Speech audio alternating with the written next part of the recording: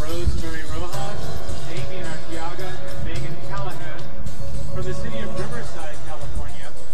performing their show entitled "Ramona The West High School South Invitational Field Tournament is proud to present the Ramona High School Dynasty Marching Band and Color Guard.